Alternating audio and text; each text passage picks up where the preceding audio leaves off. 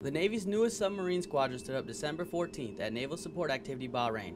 Commander Submarine Squadron 21 replaces Commander Task Force 54 Detachment. Submarine Squadron 21 will provide operations and oversight uh, for our deployed submarines in the region with a primary focus on safety of operations and ensuring the best quality support to Fifth Fleet operations.